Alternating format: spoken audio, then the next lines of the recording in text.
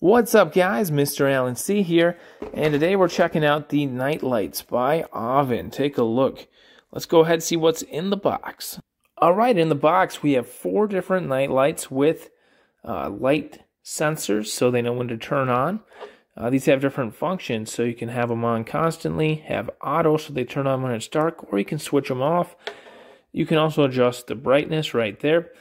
And we also have these brackets. These are have 3M tape, so you can stick this, you take this little piece off the back, it peels off, and you stick it where you would like a night light, and then this magnetic surface sticks to the back of this, so you can stick it wherever you put that adhesive 3M bracket. So if I put this on the wall, I could just stick it to that magnetic piece then, the bracket.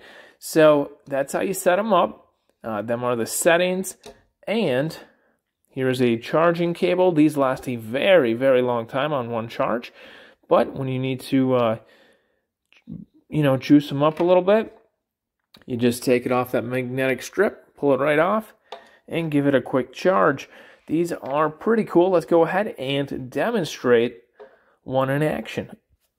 All right, I've gone ahead. I've switched this one to auto mode, so it will sense when it's dark and turn on. This is great for bathrooms and hallways where you need a little light in the dark. I'll switch off all the lights and try this for the first time. Let's see if it comes on.